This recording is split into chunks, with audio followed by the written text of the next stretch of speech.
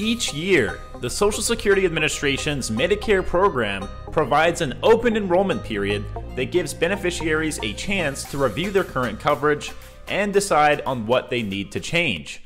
That period is currently underway and will continue through December 7th, 2022. What's going on, my friends?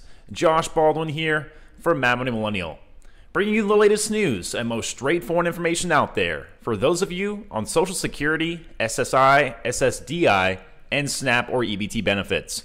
You could do me a giant favor by tapping those like and subscribe buttons. And let's get into this breaking news update regarding the latest on Social Security and Medicare benefits. This information changes on an almost daily basis, and it's my job to keep you informed with the latest updates. So make sure you watch every single video and watch all the way through so you don't miss out on the most current information. Your main focus during open enrollment will be deciding which type of coverage best fits your current health needs and financial situation. Making the right choice could lead to hundreds of dollars in savings, but you'll need to do your homework. Tricia Neuman, Senior Vice President of the Kaiser Family Foundation and Executive Director of its program on Medicare policy, told the AARP in an interview that most people don't pay much attention to the open enrollment period, and that can come at a cost. The most popular option for seniors is Original Medicare, which includes the following. According to the Social Security Administration's website, Medicare Part A, or hospital insurance, helps pay for inpatient care in a hospital or at a skilled nursing facility following a hospital stay. It also pays for certain home health care and hospice care services.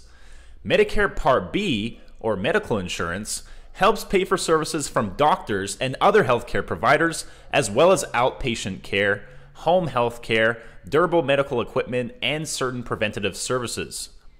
Other parts of Medicare are run by private insurance companies that follow rules set by the Centers for Medicare and Medicaid Services. You might want to pursue these options if Original Medicare doesn't cover enough of your healthcare needs. For example, under Part B, you're responsible for 20% of the cost of a doctor visit or a lab test. Here are some other Medicare options to consider during open enrollment. Keep in mind that these might carry additional costs, though they could end up saving you more money over the long term. Medigap. This is a supplemental insurance policy that helps pay Medicare out of pocket co-payments, co-insurance, and deductible expenses.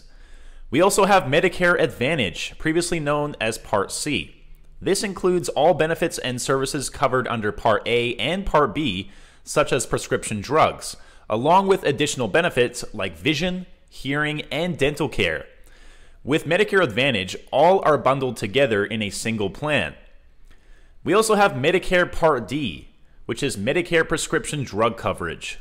This helps cover the costs of prescription drugs. If you have a Medicare Advantage plan, you don't necessarily have to make a move during the regular open enrollment period, which is currently underway. There's also a special open enrollment period for those who are already enrolled in Medicare Advantage plans.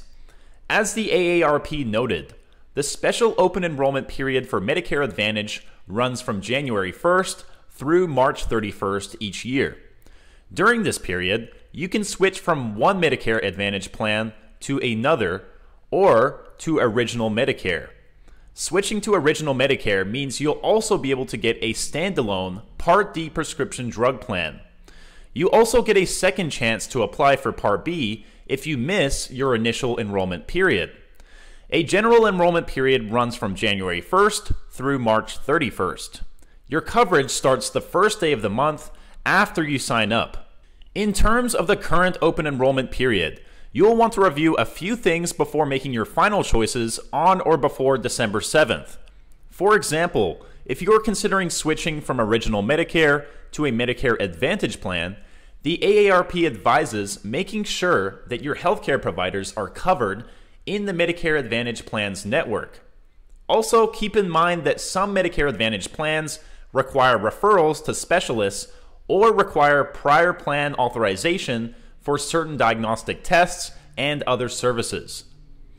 Alright, my Mad Money minions, I hope you found this video helpful. If you did, please leave a like.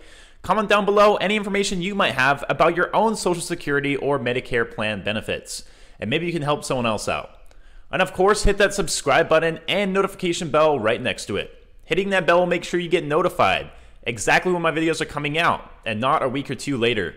If you're interested in investing, you can now get your one free stock by clicking the link down in the description. If you would like to listen to these videos while you drive in your car, you can now listen to me on my new Spotify station. And lastly, if you'd like to support my channel, you can now own your very own original Mad Money Millennial t-shirt. Colors come in black, gray, red, and white, and the link to my store can be found right under this video. Alright guys, stay safe, stay hustling, and I will talk to you guys again soon.